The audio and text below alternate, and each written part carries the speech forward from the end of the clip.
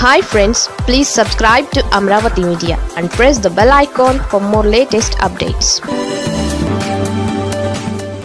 ఆ టీడీపీ ఎంపీని ఎలా వదిలేశారు?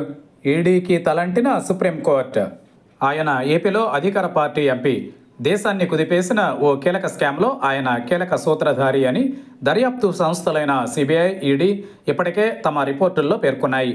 అయితే ఏమైందో ఏమో తెలియదు కానీ ఆయన పేరును మాత్రం ఈ కేసు ఛార్జ్ షీట్లో నిందితుడిగా చేర్చలేదు. దీనిపై కీలక సమయంలో సుప్రీంకోర్టు స్పందించింది. ఆయన్ను అలా ఎలా వదిలేస్తారని ఎన్ఫోర్స్మెంట్ డైరెక్టరేట్ను నిలదీసింది. దీంతో ఈడీ ఇరుకన పడింది. ఇంతకే విషయం ఏంటంటే ఢిల్లీ మద్యం కుంభకోణంలో CM Arvind Kejriwal deputy CM Manish Sisodia BRS MLC Kalvakuntla కవితతో పాటు పలువురిని సిఐడి ఈడీ నిందితులుగా చేర్చి దర్యాప్తు చేశాయి. అయితే ఈ స్కామ్కు సంబంధించి ఢిల్లీలోని టీడీపీ ఎంపీ మాగుంట శ్రీనివాసరెడ్డి ఇల్లే కేంద్రంగా చర్చలు జరిగాయి. అయినా మాగుంటను మాత్రం ఈడీ సిబిఐ ఎందుకో నిందితుడిగా చేర్చలేదు. ఇదే అంశాన్ని సిబిఐ ప్రశ్నించింది.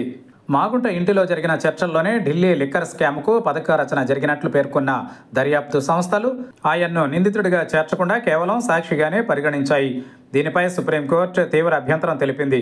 ఇదే కేసులో ప్రధాన నిందితురాలిగా ఉన్న కవితకు సమానంగా మాగుంట పాత్ర కూడా ఉండగా ఈడీ మాత్రం నిందితుడిగా చేర్చకుండా వదిలేయడంపై సుప్రీం ధర్మాసనం ఆశ్చర్యం వ్యక్తం చేస్తుంది అదే సమయంలో మాగుంట కుమారుడు రాఘవను తొలుత నిందితుడిగా చేర్చి ఆ తర్వాత అప్రూవర్గా మార్చడం పైన సుప్రీంకోర్టు అనుమానాలు వ్యక్తం చేసింది. ఇదంతా చూస్తుంటే తమకిష్టం లేని వారిని ప్రాసిక్యూషన్ నిందితులుగా చేర్చి ఇష్టమున్న వారిని వదిలేసినట్లు కనిపిస్తోందని సుప్రీంకోర్టు ధర్మాసనం వ్యాఖ్యానించింది.